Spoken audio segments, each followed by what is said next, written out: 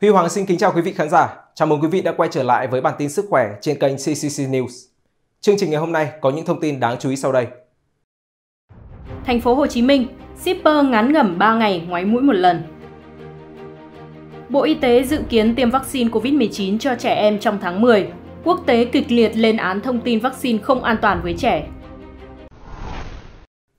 Thưa quý vị khán giả, vừa qua trong khi quốc tế triển khai chương trình tiêm vaccine ngừa COVID-19 cho trẻ em đã xuất hiện các luồng ý kiến trái chiều phản đối trên mạng xã hội. Và ngay lập tức, giới khoa học quốc tế đã lên án các thông tin này, khẳng định vaccine Pfizer đã được chứng minh là đáp ứng các tiêu chuẩn an toàn và đang được sử dụng rộng rãi. Rủi ro chỉ ở mức rất thấp giống như là việc tiêm chủng cho người dân trên toàn thế giới trong suốt thời gian vừa qua vậy. Và sắp tới đây, dự kiến trong tháng 10, Bộ Y tế Việt Nam sẽ tiến hành tiêm chủng cho trẻ em. Chúng ta sẽ bàn luận về vấn đề này trong phần 2 của chương trình. Trước tiên thì mời quý vị đến với một thông tin cũng đang thu hút sự chú ý của dư luận trong ngày hôm nay. Thành phố Hồ Chí Minh, shipper ngán ngẩm 3 ngày ngoái mũi một lần. Dù thành phố Hồ Chí Minh đã chính thức nới lỏng giãn cách xã hội, tuy nhiên các shipper vẫn tiếp tục thực hiện xét nghiệm ngoái mũi 3 ngày một lần. Điều này đang khiến cho lực lượng shipper tỏ ra ngán ngẩm vì tần suất ngoái mũi quá dày, không khác gì thời điểm chưa nới lỏng giãn cách.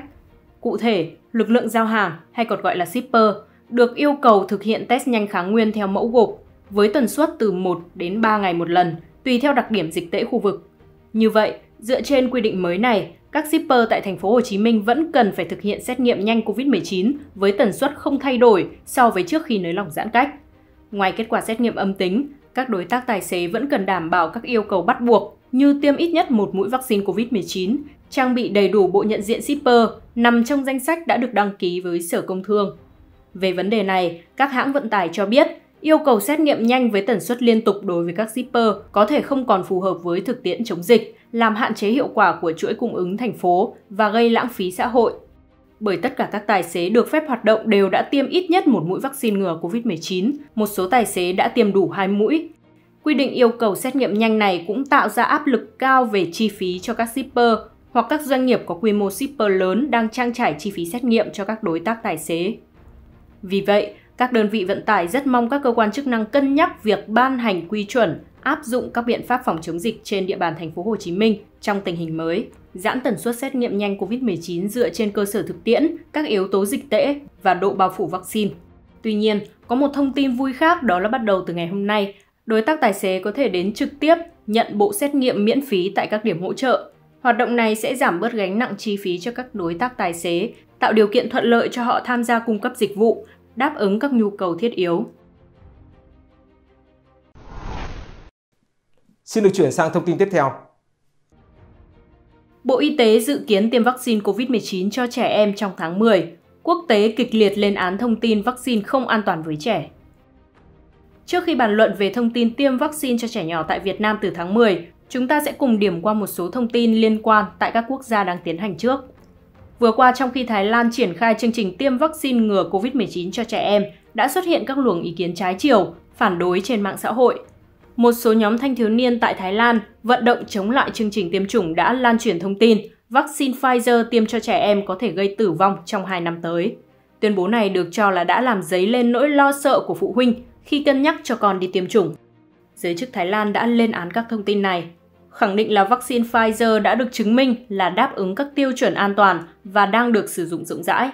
Thái Lan tiến hành tiêm vaccine Pfizer cho học sinh từ 12 đến 17 tuổi để có thể thực hiện kế hoạch mở cửa trở lại các trường học vào tháng 11 tới đây. Theo Trung tâm Quản lý Tình hình COVID-19 CCSA của chính phủ Thái Lan, cho đến nay có hơn 150.000 trẻ em đã được tiêm mũi vaccine đầu tiên. Chỉ có 3 trường hợp viêm cơ tim, một tác dụng phụ nghiêm trọng hiếm gặp của vaccine. Các nhà khoa học quốc tế khẳng định tỷ lệ rủi ro là rất rất nhỏ, trong khi đó hiệu quả của vaccine là điều không thể bàn cãi.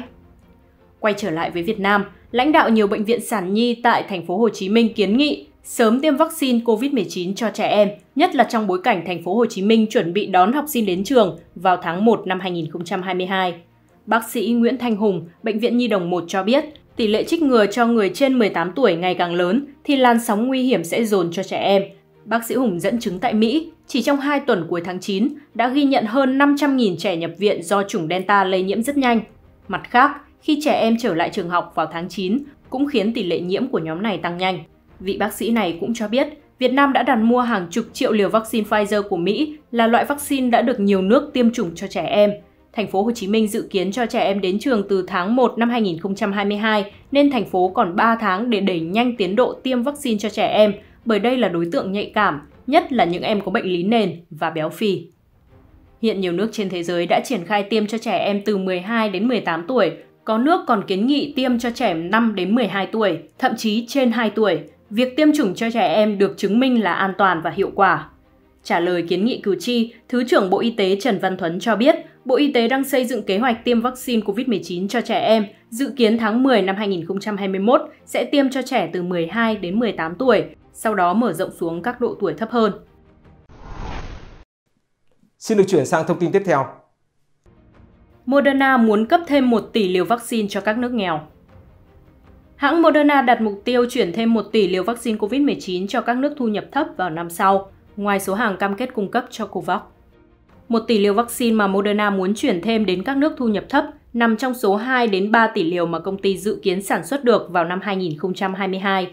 Hôm qua, ngày 9 tháng 10, Moderna đã công bố kế hoạch đầu tư trị giá 500 triệu đô la Mỹ để xây dựng nhà máy ở châu Phi, với mục tiêu sản xuất 500 triệu liều vaccine bằng công nghệ mRNA mỗi năm, bao gồm vaccine COVID-19.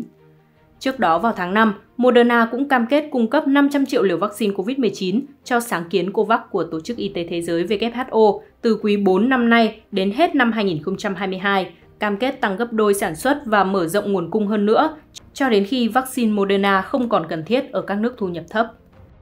Kế hoạch cung cấp vaccine của Moderna được đưa ra trong bối cảnh thế giới đã ghi nhận tổng cộng 237 triệu 931.330 ca nhiễm nCoV, bao gồm 4 triệu 855.341 trường hợp tử vong và 214 triệu 937.932 người đã bình phục theo trang thống kê thời gian thực Worldometers.